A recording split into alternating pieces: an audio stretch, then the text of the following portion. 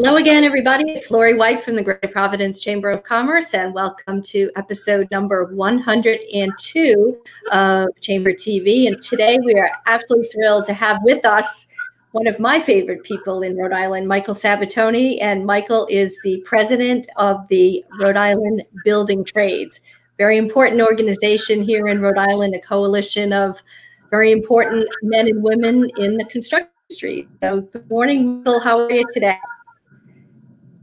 I'm doing well, Laurie. Thank you for having me uh, this morning. Um, and I wish you a happy new year.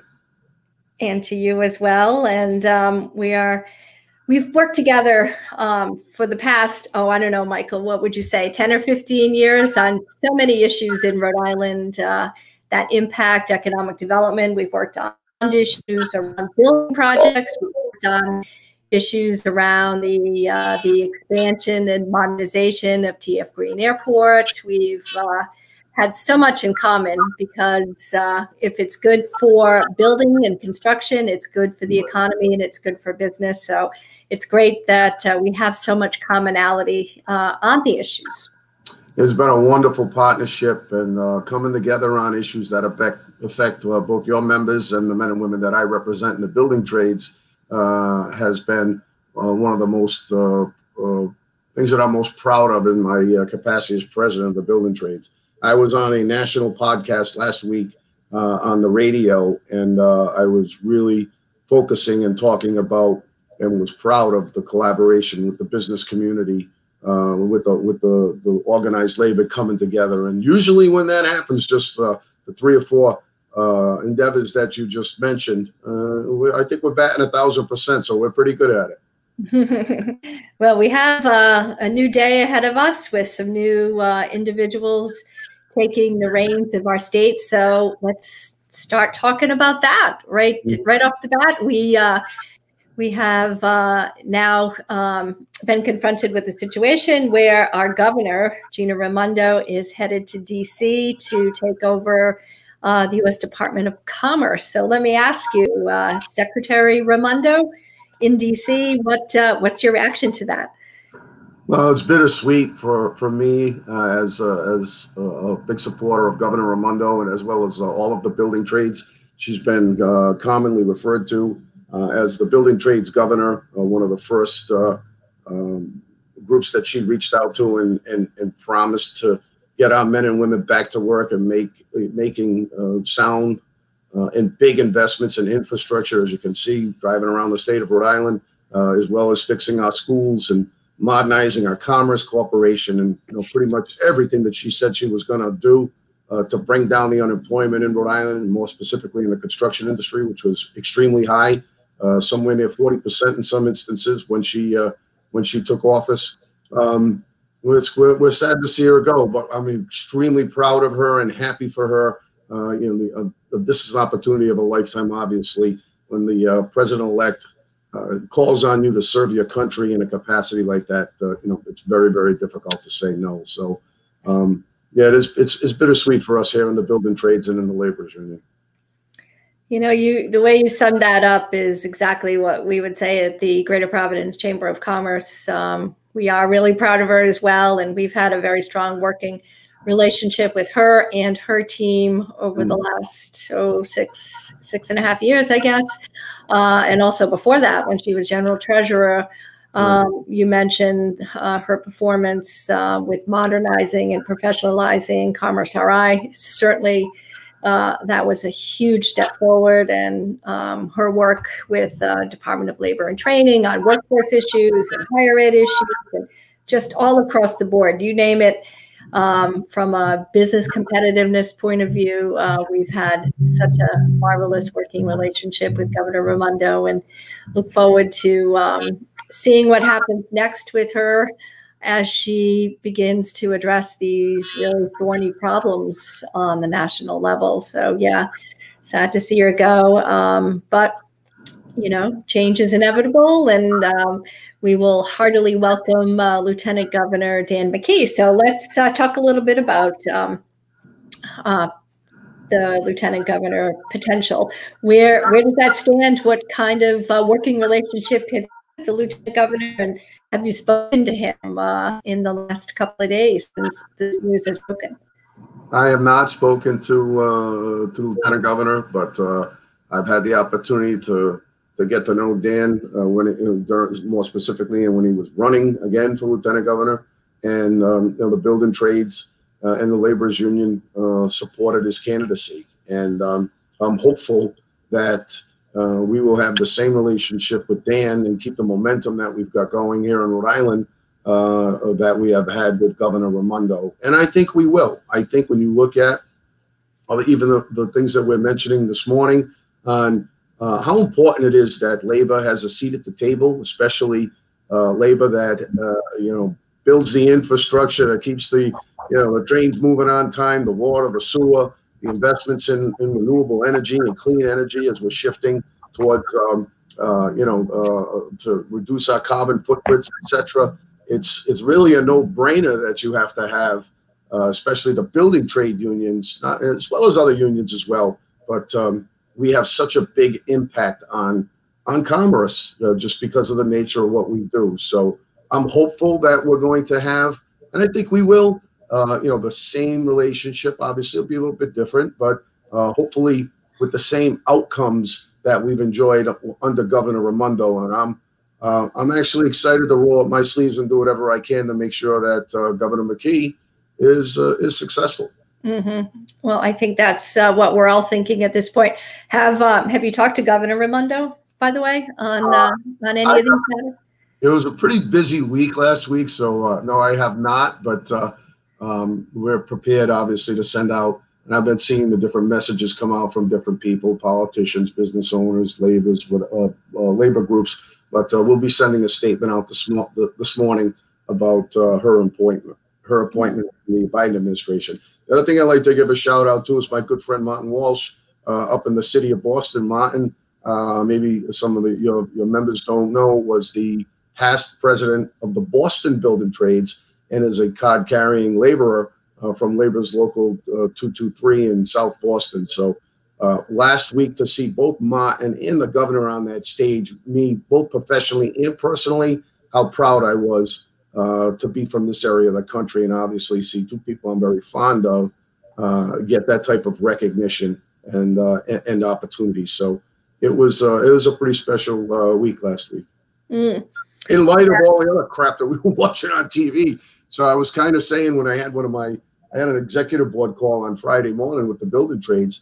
And I said, you know, you're looking at what we saw the other day, I believe it was Wednesday with those riots and what have you. But still on Thursday, there was a sense of optimism, even even looking at those ugly uh, videos of what was happening in DC. So, you know, like it's still kind of hard to believe that we're very optimistic. We just got to get through these next 12 days and hopefully uh, no other craziness happens and we can get back to the mm-hmm. work the American people deserve and uh, and start getting some grown-ups in the room. Well, you mentioned um, the the new preponderance of folks from New England playing a major role in the Biden administration, but we also need to point out um, the ascendancy of Senator Reed to the Armed Services yeah. Committee. So, you know, from a, a congressional leadership point of view, particularly with the defense sector being so vitally important in Rhode Island, we are very well positioned there. That is, you know, long time coming as well. Uh, we are so fortunate, and I, I have the opportunity to, to have gotten to know Senator Reed, Senator Whitehouse, Congressman Langevin, Congressman Cicilline. When I tell you, we couldn't have a better delegation. I'm so fortunate to be able to work with them, and all Rhode Islanders should be uh, should know that as well on how hard they absolutely work uh, on behalf of all Rhode Islanders and how respected they are on Capitol Hill. Uh, you know, evident of uh, of uh, Congressman Cicilline on the other side is uh, you know one of the leaders and trying to hold this president accountable. you know, Jim on his expertise on cybersecurity and how people he's probably the most renowned in the in the House. Uh, and then uh, what what Senator Whitehouse does for us on the renewables and on judiciary, and then absolutely uh, the ascension of uh, of Senator Reed to uh, the chairmanship of uh, of armed services. You know, we're just we're just fortunate to have the team that we have in our congressional delegation, and I, am actually you know, happy and pretty damn proud of them as well. As finally, or it's still a 50-50 split, but finally being able to get some things done and don't watch uh, Mitch McConnell, uh, you know, thwart every effort that that our, our, delegation does to try and make the lives of all Rhode Islanders and all all of the American people better. Mm-hmm. So you've been a um, long time wise uh, prognosticator um, and observer of the Rhode Island political scene. So let me ask you, um, what do you think is going to happen with the um, the lieutenant governor's role uh, vis-a-vis the appointment of um, of a lieutenant governor or the legislature? uh, particularly uh, passing legislation this year to make it an advice and consent um, activity. Now, the one the one downside with the pandemic, there was a lot of downsides with the pandemic, but one of the other downsides is is that used to pick up a lot of intel uh, when we would be, uh, you know, spending time, uh, sometimes a lot of time uh, in the hallways of, uh, of the state house and um, as well as you know navigating the circuit out uh, on the on the political scene with fundraisers, etc. So the intel isn't as um, up to date as it would be if we had that human contact, which we'll all miss. But um, I, if I was a betting man, I, I, would be betting on that. I think the legislature is going to take it up and and and pick who the next lieutenant governor is. I don't know that to be fact, but that's just uh, that's just what my opinion is. I think they very well could do that. So how how would that work? And it's it's you know at first blush it seems like well you know isn't that a constitutional question that the voters decide? Well, I haven't gotten it too far into the weeds on it, but I know there's been serious discussions on it. So, it, it, can they take it up? Is it constitutionally viable? What would it look like? What would the percentage of the vote have to be? How many candidates? Uh, you know, because it'd be great to say, okay, the General Assembly will pick. Well, then what if the General Assembly doesn't agree, and uh, you know that runoffs or, or what have you? So um, I, am sure all of those technicalities are being looked at, and if there is a way, I, this might again just my personal opinion.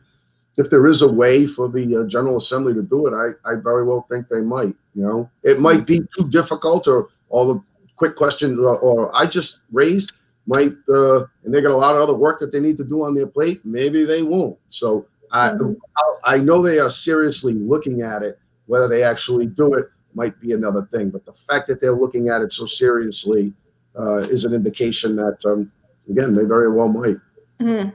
Well, the fact that you are talking about it in um, such with such specificity, I think should be a, a, clue to everyone listening that this is an issue that um, we got to pay very close attention to in the in the coming days. Um, so and I do think, and I do think that the lieutenant governor, whether he's uh, uh, uh being uh, whether he's chosen by Governor McKee or the General Assembly, I think is going to be uh, more important than ever, just due to the fact that um, I think the governor is going to actually need you know, to to to, uh, to rely on people in walking into a pandemic. Uh, you know, I know he's a very smart man. He wouldn't be where he is if he wasn't. But you know, we all need help, and I think that having someone in that lieutenant governor position, especially in the circumstances we're in right now, can be a real asset to Governor McKee. Mm-hmm. What um, What do you think the the key issues that we all will be confronting in the 2021 session of the General Assembly? What a from your um, from your perspective, from your vantage point, representing the building trades? Uh, what do you see on the horizon? Well, first and foremost, obviously, it's a, we always start with the budget, uh, you know, and how we're going to deal with that. Uh, as you know, on March 2nd, we've got uh, the bond questions uh, uh, that are going to go to every registered voter is going to get a mail ballot on March 2nd. And the seven questions, and, you know, we're putting a coalition together uh, that would be uh, seven questions, one answer. Vote yes. You know, we've learned our lesson from times in the past, trying to come out of difficult times, and this was this was an economic difficult time caused by the pandemic. And how we how we come out of it is by stimulating the economy uh, so that we can get businesses back up and running as quickly as possible. And nobody can stimulate the economy quicker than government uh, and state government. So the fact that we're going to uh, you know, invest in keep the infrastructure programs going, invest in higher educations, invest in housing, invest in uh, recreation, invest in uh, you know all the things that that you know make the quality of life in Rhode Island better.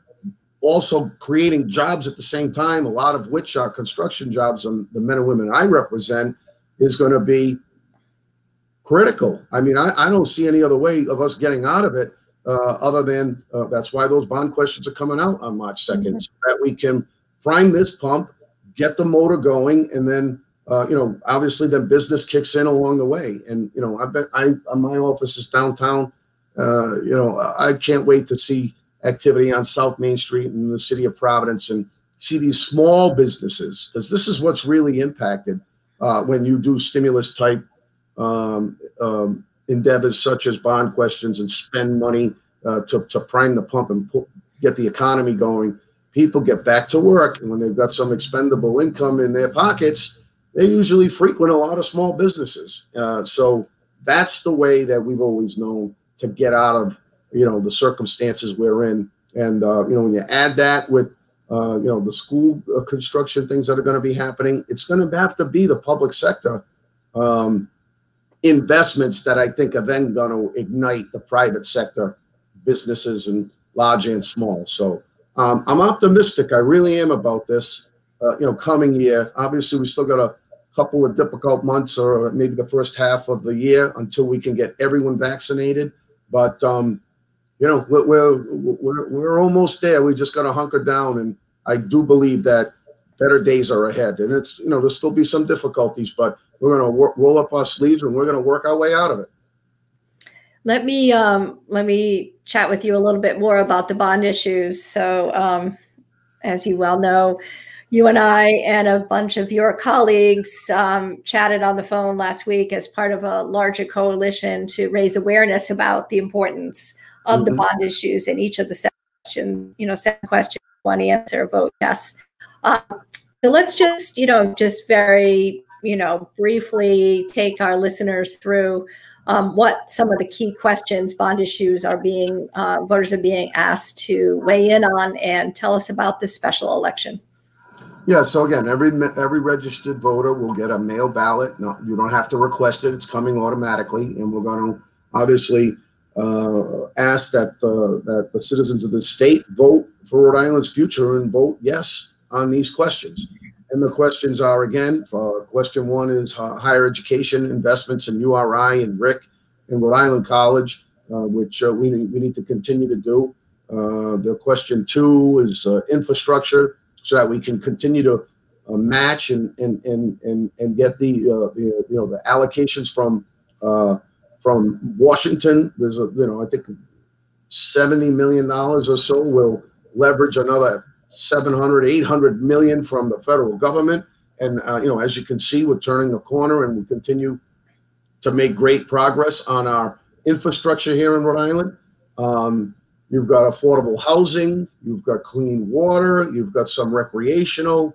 Um, you, have got you've got a you've got a, a, wide array of, of different areas where we need to uh, continually make investments in this state and in our and in ourselves. So the thing that's most important is the timing of these investments. Again, coming out of a pandemic, priming the pump, getting the economy back up and running, and giving it a shot in the arm. And, and again, there's no one that can do that quicker and, and, and in the capacity that it needs to happen when you have events such as this that we're currently in to get out of them and get the economy going, then government spending money, smart money in areas that improve, uh, improve the quality of life for all Rhode Islanders and create jobs at the same time and stimulate the economy. So again, we've seen this work. We know how it works. We know we can do the work.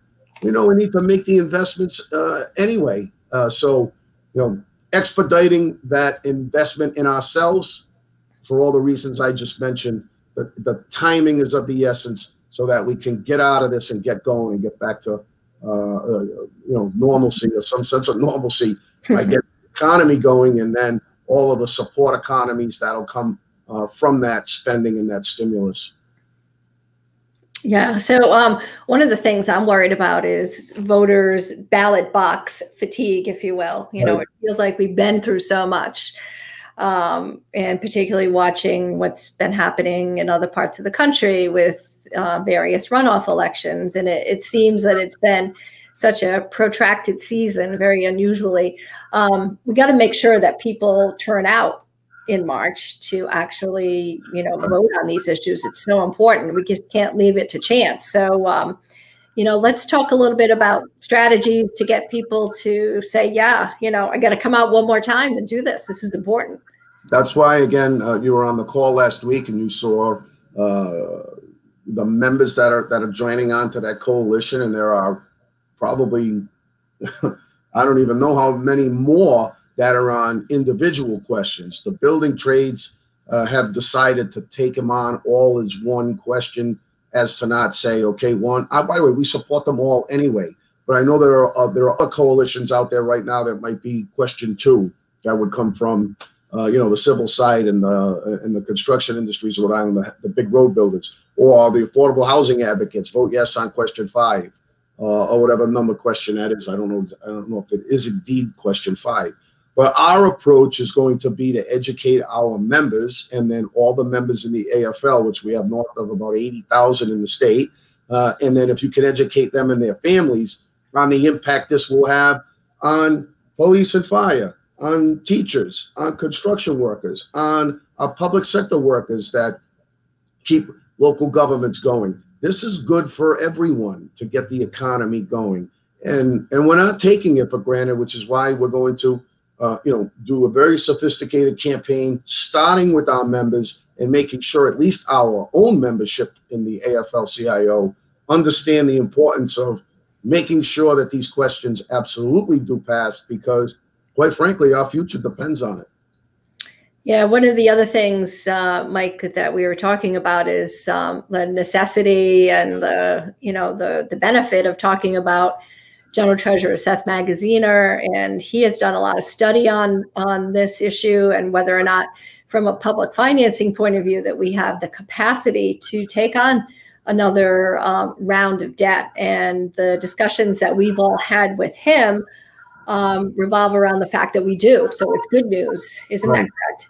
That is correct, and uh, and with the help of uh, the general treasurer of making sure that Rhode Islanders understand that Rhode Island is actually in a pretty good financial position right now. We are retiring debt pretty quickly uh, as we speak, and our capacity to you know continue to invest in ourselves via bonds has probably never been better. When you add that also to um, uh, the fact that money right now has never been cheaper to borrow, uh, you know, it's, it's a perfect time right now for, for us to make the investment again to try and come out of this thing. We yeah. and again, and then we'll still have the capacity and be in a good position a few years from now to then do our second wave of mm-hmm. uh, of school bonding as well. So there, Rhode Island is in a good position right now and has uh, and has the ability to do this. Um, you know, which is why we're, we're going to get it done. But I think again, getting the message out to Rhode Islanders that the state can absolutely do this and is in a sound financial position to do so. And money is so damn cheap right now, it makes sense for us to do it in mm-hmm. addition to things we just spoke about over the last uh, few minutes.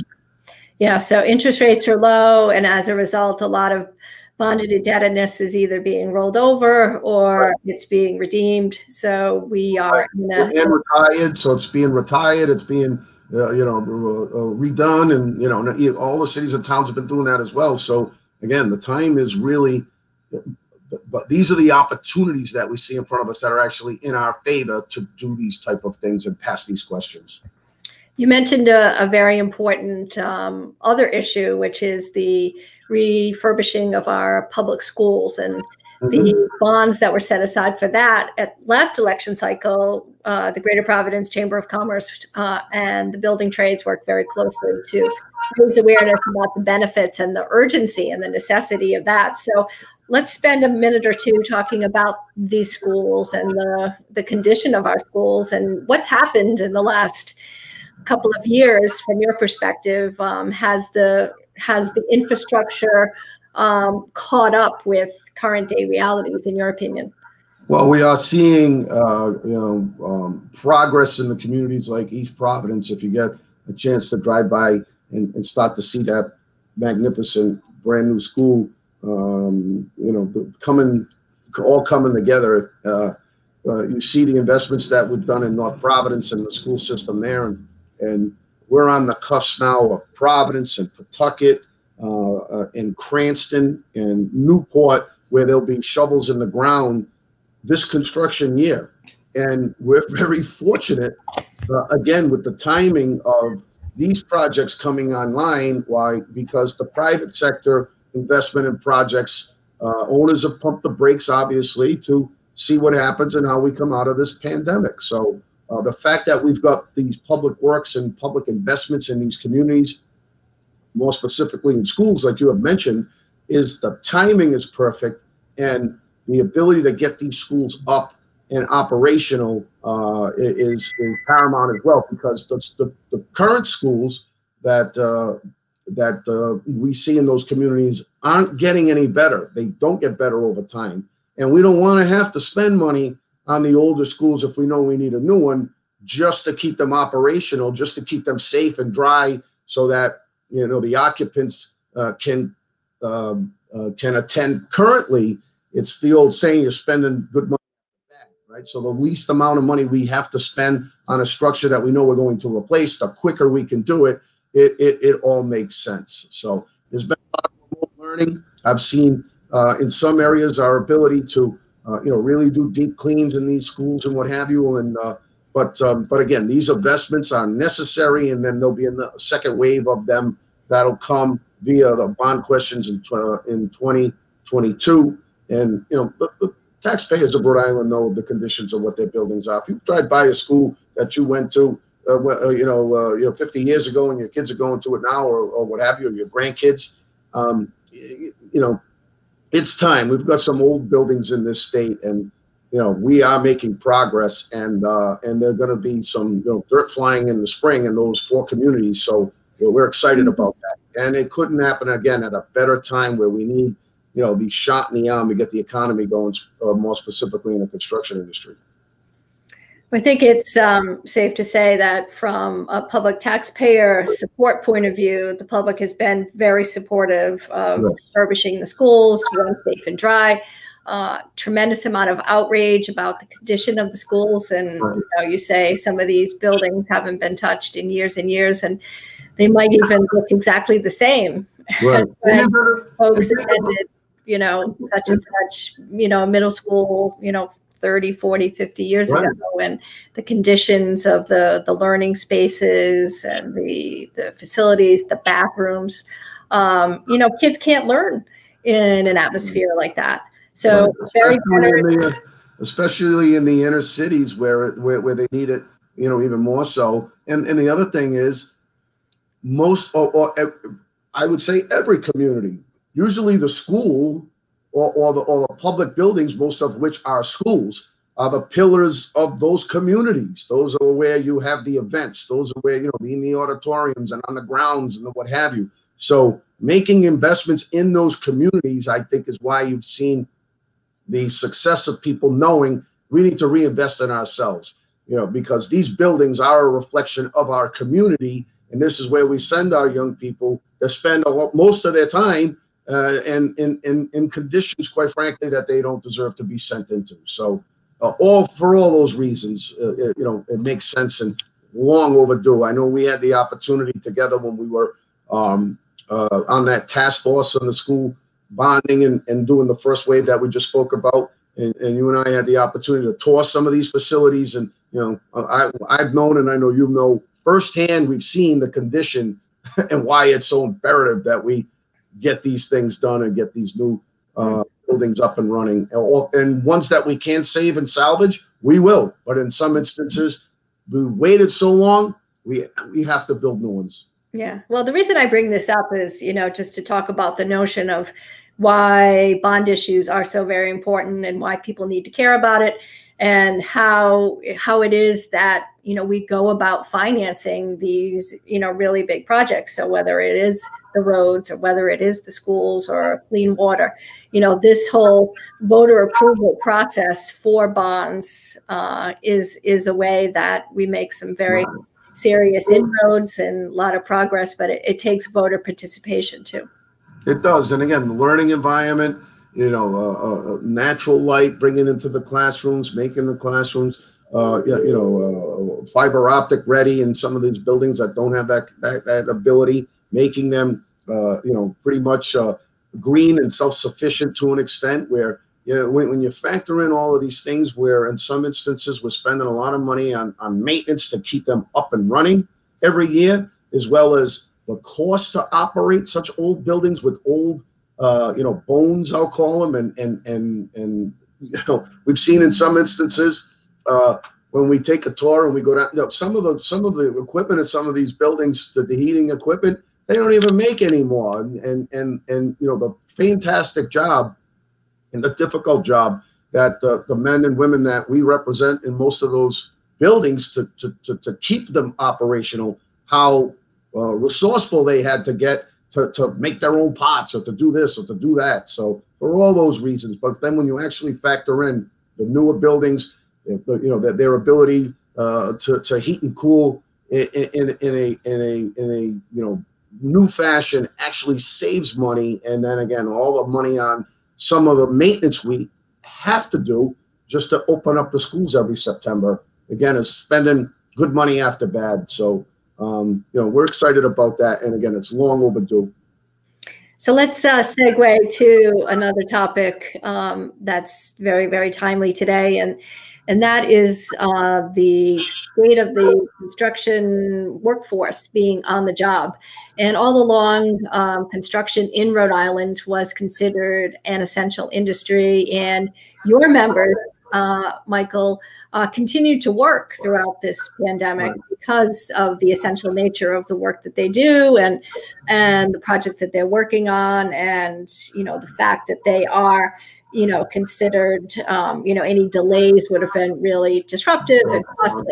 Uh, so tell us a little bit about how you think that that's worked out compared to other states that weren't as lucky in terms of keeping the construction trades on the job. Well the first thing that I'll say is I'm I'm fortunate to have uh, the contractor associations that I have here in Rhode Island. You know, the coming together uh, together with our Build Rhode Island group that that you're familiar with, um, the large construction associations in Rhode Island, and having the same relationship like we've spoken about at the beginning of, uh, of the segment here today.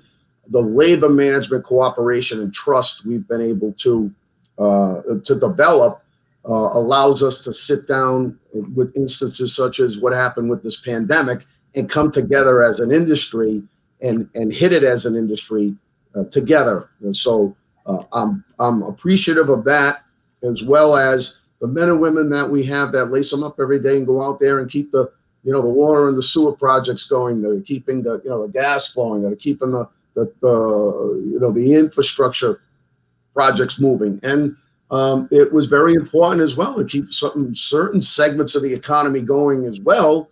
Uh, you know that is so important, and you know one of the things I think that we were able to do was really get buy-in from the membership, the, the, the contractors. We had some projects uh, where protocols might have been a little bit laxed, and we had you know uh, immediate um, uh, impact on those projects and in some instances, even had some stand downs until they were corrected.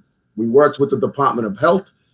we followed the CDC guidelines as well as our national building trades to implement all of the safety protocols as recommended with social distancing and staggered lunches and staggered start times and temperature taking and and uh, proper sanitization stations and uh, you know no congregations uh, you know in, in big ways and, and all of those things.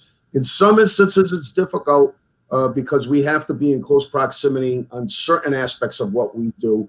And we've tried to eliminate those to the best of our abilities as well and avoid those instances. But unfortunately, sometimes in a construction project, like we have a large concrete pour, it takes a lot of people uh, and they got they're in close proximity to you know, pour a big deck or or, or to place a lot of concrete. Mm-hmm. So we tried to schedule those as far off as we could and do them to the best of our ability, and I think we succeeded.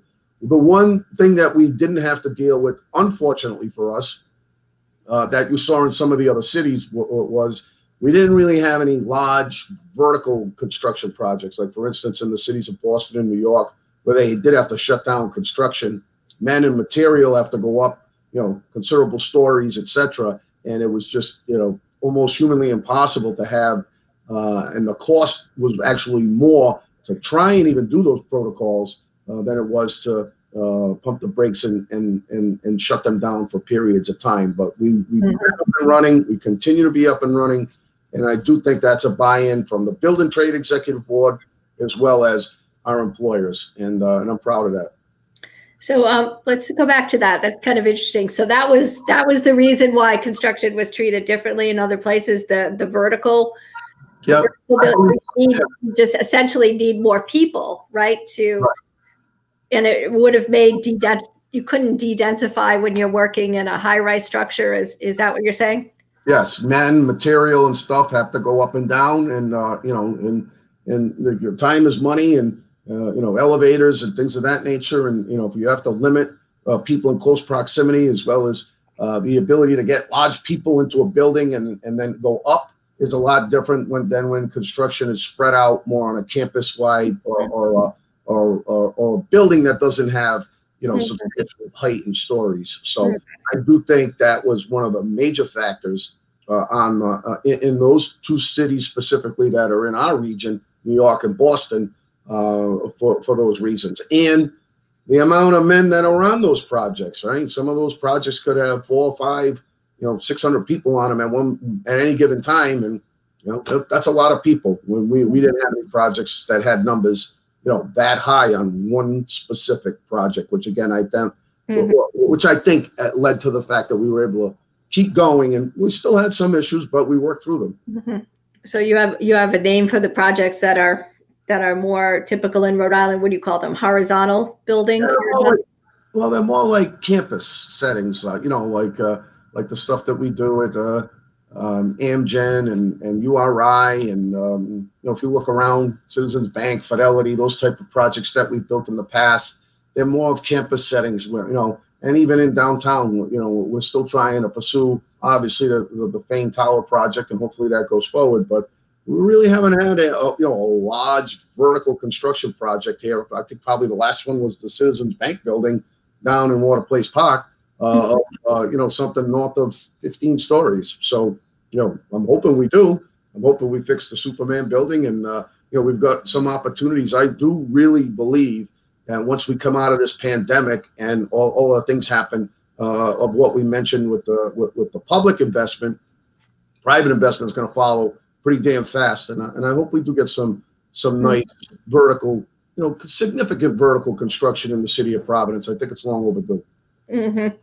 So, do you think Governor Raimondo turned Secretary Raimondo will be thinking about the Superman building when she's in DC? And it, it's on my it's on my list when I send her you know her good luck card. So there'll be a little list wish list in there. Don't forget about these things. yeah, you know you have. Um, By the way, and I know and I know she won't anyway. She's been she's had her finger on the pulse on everything Rhode Island since the day she was elected. And like I said, I've had yeah. to to, to work with her and her administration, her whole team. So I'm hoping that I'm hoping some of the team stays in place as well. We haven't really mentioned that too too much, but right. we need some people like Stefan and Peter in the Department of Transportation uh, and alike to you know to stay and and and continue the good work that they've that that, that they've been doing. Mm-hmm. Absolutely, and these are very difficult assignments, very difficult departments and organizations to run and manage and to be proactive and also to be in sync with with best practices across this country right. and to know you know exactly how you need to proceed in order to be competitive and what kinds of projects are being approached you know that might that might look different than perhaps it looked like in a in a different setting so um and you mentioned you mentioned at the at the beginning of the segment we were speaking about um and we both were talking about uh, modernizing our commerce corporation, you know, and, and now when the businesses come here, there's some predictability and there's uh, a, you know a, a real um, sophisticated approach on on how we speak with and attract and support business in Rhode Island through commerce. And uh, you know um, that, that's that's important, especially not only we want our businesses here to grow and continue to grow and make investments, but we always want to attract other business to come in from outside and invest in, uh, in Rhode Island as well. And without a modern commerce department with the programs that they've got in place, uh, that, that doesn't happen. Mm-hmm. You're absolutely spot on with that. And that's an issue that Rhode Island has grappled with for a very long time right. in terms of, you know, how to really fashion that department and bring in professionals that are true legacy economic development professionals. So it, it's a lot different to take on that role and understand what it means to be an economic developer. It's not it's not really about you know knowing how to run a business. It's that's kind of a, a misnomer in many ways. Right. So uh, I always, um, when I visit your offices, I'm always very envious of the uh, the view that you have, and it didn't always look like that, right? You know, years ago, uh, you are down on South Main Street, and you basically, you know, it was just, you know, nothing special looking out the window there, but um, everything has really dramatically changed when you look out your window today. So, paint us a little picture of um, of what you see and how you feel when you look at this. Well, if somebody wants to develop the parcel right across the street, right now I've got a view of the river. But if you want to come obstruct my view and build something large right across the street from me, you have my permission. But um, I remember back before we did the relocation of the highway system, I look out my window and it was a 40, 50 foot uh, concrete wall uh, that was the uh, exit ramp to South Main Street. So we were on the the dead end and the uh, the old one I nine I one ninety five used to zigzag right around the office here uh, and you know the relocation of that bridge uh, to the other side of the hurricane barrier then opened up uh, what we all know as the as the uh, the 195 district and the knowledge district, etc. So that's why I'm very bullish on Providence. There is still a substantial amount of real estate here in the city that is prime for investment. And again, I I, I think as we go forward in these next few years or so, uh, that uh, Providence is going to continue, and the state of Rhode Island is continue going to continue to be uh, a place where uh, people are going to be looking for uh, investments, especially in in the city and the opportunities that we're going to have. Especially now that we're fixing all of our infrastructure, mm. modernizing our train stations. We, we we're also having talks about additional investments in in support in TF Green, which is an asset to the state, uh, and uh, in the ability to get in and out of here pretty simple um, you know, the ability to move around in the state of Rhode Island, unlike the, uh, you know, our bigger uh, cities to the north and south of us. I, I do think that uh, that we're going to see, you know, a, a, renewed interest and investment in the city of Providence uh, once we come out of this pandemic. So I'm, I'm really bullish on on the future of the city and the, and the future of the state of Rhode Island. Yeah. So um, the work that Governor Raimondo has done under um, through her administration and working with um, Commerce Secretary Stefan Pryor, the mayor, uh, right. the trades, of course, and the and the and the members, the you know the construction companies that have worked so very hard. You know, you look out the window there, and you know you've got a new medical school. You have. Right a new hotel that's almost finished, right? You have the new innovation center, Wexford Innovation Center, right yeah. there. That's that's, that's spurring, uh, you know, the development. Um, you know, I've got some housing that's happening over here on on um, across from um, uh, Wickenden Street. So you know, a good mix of that, and it, and again, not only bringing business, but then you know, bringing people into the city that live in the city as well. Will create a vibrant city, and then we'll support the small business in the city because after five o'clock, they don't go home. They live downtown. So mm-hmm. as we get mm-hmm. more and more investments in housing and then affordable housing at that as well in the city of Providence, and then investments in the city itself uh, is, is is is is what we need to do. You know, we've got the beautiful pedestrian bridge that we just finished. I see more, um, uh, you know, people and activity walking around the river and, and the beautiful, uh, you know, parks that we've developed and people enjoying you know, on a nice day, the ability to take a walk at lunch and come out of the office building and, and, and do that. That didn't happen uh, you know, 10, 15 years ago with the old infrastructure that we had out here. That's why when we make these type of investments, we improve the quality of life in Rhode Island. It makes an, us an attractive mm-hmm. uh, place for people to want to be, live, work, and, and, and play. And again, the other thing that's more most important of this is they can see the investments we're making in our infrastructure and our roads and our bridges. They can see the investments that we're making in our K through 12 school system, and, and, and they can see the investments that we've made in our uh, colleges and universities, both Brown and URI, and you know, you name it, Johnson Wales, and it's etc. When when we look down at URI today, think about these investments: new pharmacy school, new engineering school, new nursing school, new chem lab. I mean, these facilities are on par with any other college or university in the country, right? Brown University right now is uh, is is uh, making their investment in their performing arts center, probably one of the nicest ones in the country. I mean, this is a pretty damn impressive interactive building, and you know these type of things obviously keep us competitive, keep us on par with other states, and then in some instances puts us ahead of them.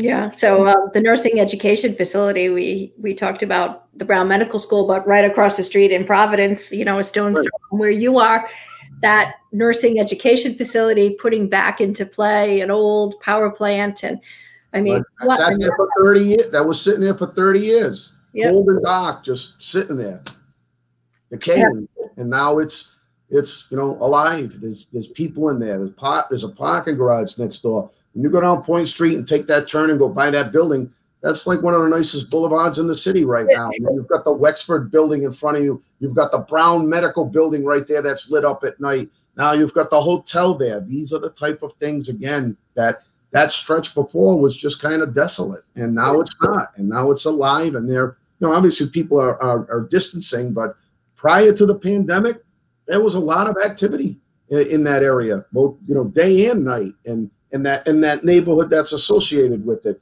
with the bars and the restaurants, and you know just creating that that environment that young people want to be around, young people want to uh, come here and work here and live here and play here. So that's that's the, the stuff that we got to continue to do. And again, that's why I'm bullish on Providence yeah. and in Rhode Island. you mentioned the pedestrian bridge, so I have to I have to tell you um, the big thing that pe the pedestrian bridge um, is being used for now, and it's really cool because I've seen it a few times. Weddings, socially right. distanced weddings, right, right there on the on the expanse.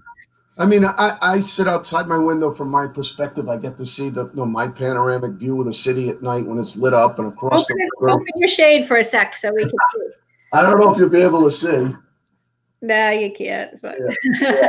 but um, and, and again, at, at night when it when the city's lit up and the bridges lit up, and again the the nursing, I mean the the, the med school, the way that Brown has ornated that with their lights at night and and, and the surrounding buildings it just look you know it's just a it's it's a nice place to be day or night. The, the view is fantastic. We've made considerable investments in our sewer program with the cso combined sewer overflow projects that we've done with narragansett bay commission and chairman Mesolella who's done a fantastic job. We're getting ready to do phase three up in pawtucket now.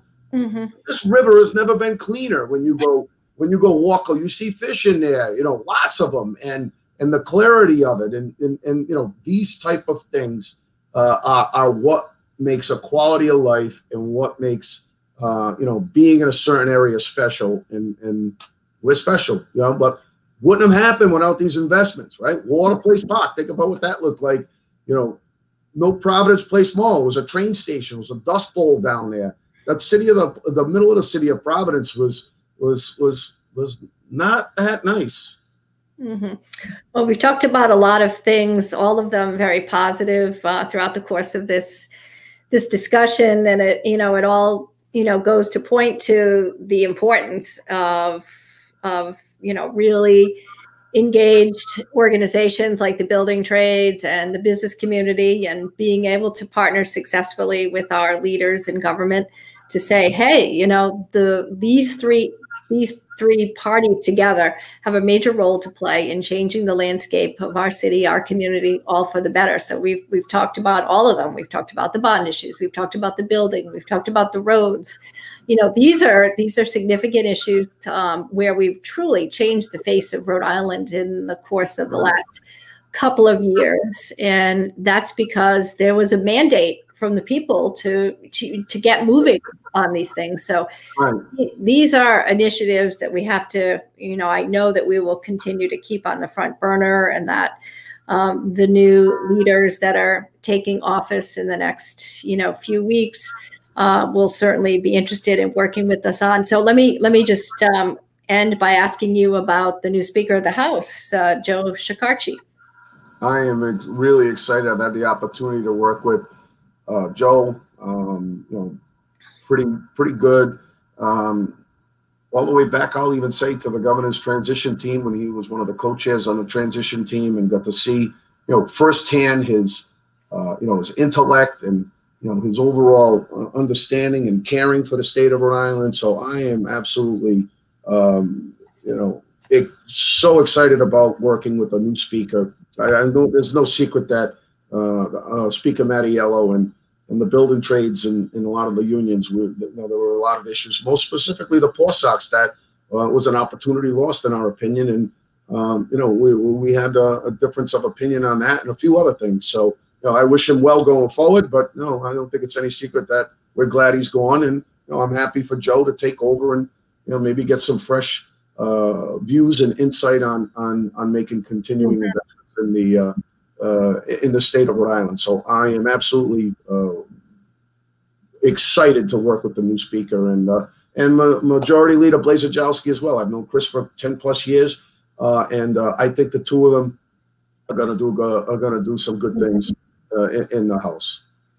So we we were very fortunate to be able to interview the new speaker on Chamber TV last week or the week prior, episode number like 97 or thereabouts. And, you know, he was really excited to um, take the reins and to begin his term as speaker. And, you know, I think he's going to be really good for business as well. He understands the importance of making right. sure that business is predictable and that business continues to be uh, an economic engine for jobs in the recovery and very sensitive to you know what's happened over the course of the last 10 or 11 months with a lot of businesses sidelined many of them in a devastating way as a result of the pandemic. So we are you know we are equally um, excited about the prospects there. And also um, the senate president he remains the same. We have worked with him as well uh, president ruggiero. And i know that you obviously uh, have similar backgrounds with the senate president too Oh, I mean, I've known Dominic for 30 plus years. He was uh, you know, a, a, member of uh, my local. Uh, he's been a colleague of mine. He's been a mentor of mine as I've come up through the ranks. Uh, and uh, you know, having Dominic and and Mike McCaffrey back in place in the Senate, uh, I, I, couldn't be happier with that as well. You know, Dominic gets it. He grew up, you know, in the construction industry, working his way up. so he understands what it's like to work with your hands and and to you know be out there uh, uh, you know and the importance of, of of the construction industry and the overall uh, impact it has on, on the economy. So uh, you know I'm, I'm I'm pleased with that. And I and I do think that Joe and Dominic and I'm hopeful again with that uh, uh, the incoming governor Dan McKee will continue with the momentum that we have. Mm-hmm. and and I think they will. I think they will. I've seen some you know considerations obviously in this country that um, know we have to have the discussion. And and I just hope that on some of these discussions, and again, some where uh, you know your members and, uh, uh, and and sometimes disagree with labor. They're not a lot of them, but the ones that we do disagree, I just know they have to be practical solutions. It can't be all you know too far this way or too far that way. As you know, uh, you know we kind of sit mostly um, or everything kind of gets done in the middle, like to an extent. But we need some reforms. We need some, you know, some issues with the minimum wage. We need investments. We can't tax the crap out of the rich. I understand that as well. We still need incentives in commerce. So we just got to strike the right balance so that we can shore up the middle class in this country. Uh, which then again, I believe, and I was an economic major, and I was always of the uh, trickle down doesn't work. I like to spread it around, but spread it around with opportunities. Spread it around with teaching people uh, and and providing them career opportunities and learning a trade and, and giving them giving them the ability uh, to then uh, you know earn for themselves and get out there and provide for their families. That's what I'm about. Workforce investment. And uh, and I think if we do that and we continue the lines of communication open, like we've been so fortunate to have uh, here in Rhode Island with uh, with you and I working together. All of those things that we just talked about over the last hour or so, we were involved in all of them, we were on the same page on all of them. And some of them, if we weren't together, quite frankly, would not have happened. So we know how to do it, and when we have difference of opinions, we just got to continue to talk through them and hopefully find a common ground so that it's whatever it is is practical and and will continue to uh, keep momentum in this state going forward. And again, I'm I'm optimistic. I, I know we're in place and we've got the tools to do it. It's still going to require some hard work and roll up our sleeves, but uh, you know we're prepared to do it. So we have uh, neared the end of our time together, um, but in the last 60 seconds or so that we have left, Michael, I want to put you on the spot. So I hope you don't mind. You are a very wise observer. You've seen a lot here in Rhode Island. What are the top three things you think uh, we should be paying attention to in the next six weeks that we might not see coming? What What do you What do you think? What are you looking at? Give us something. Give us something to. Uh, well, obviously, again, the, tell us something that might surprise us. I'm not saying what will surprise us, but obviously, we want to keep track of is how the vaccines are being rolled out the, the, the, the transition when it happens and the handoff uh, from the Raimondo administration to the new McKee administration and uh, some of the changes that might happen uh, when that transition happens. And then, you know, is anything in this crazy day and age just whatever just pops up on a certain day, evident of what happened last week. But I think the, the, the two main focuses, and we gotta we gotta make sure that uh, that we do them correctly, is continuing to get the vaccine out and the, the vaccine dis, uh, administered in this state in a, you know, larger capacity as quick as we can, and then how this transition is going to happen from the Raimondo administration to the McKee administration, and mm-hmm. how we're going to be helpful in in making that transition happen. And hopefully, it's a smooth transition. So that's what I'll be watching. And as you pointed out at the top of the hour, the uh, the process for naming the next lieutenant governor. So coming out of the legislature or being appointed. And again, that's still up in the air. Does the new governor pick, or does the General Assembly pass something that allows them to, you know, the mechanism to to vote on it? So that's number three. You gave me the third one. I had two, and then you thank you for well, giving me the third one. I was just leaving off what you had said at the beginning. So, anyway, uh, Michael, thank you so much for being our guest today on Chamber TV. You are a gentleman. Uh, we appreciate the work that we do together with you. Um, your team has made such an important impact uh, on our member businesses. So, we are most grateful uh, for that. And I know we'll continue to have lots of things to talk about and compare notes as we head into 2021 in earnest. So, Thank you again. Stay well, be well, and uh, we'll catch you next time. And thank you for having me. And uh, like I mentioned at the beginning, the relationship that we've got here in the chamber and with your leadership there is one of the things that I'm most proud of. And since I've been president for 13 years or so, and I'd like to thank all your members as well in in having and their businesses and what they do for the community and, and employing people in this state. So, uh, you know, I'd like to send the best and uh, hopefully speedy economic recoveries to businesses large and small in the state of Rhode Island and, and in your chamber. And I'd just like to say thank you and wish them all the best for the new year as well. Thank you. Thank you.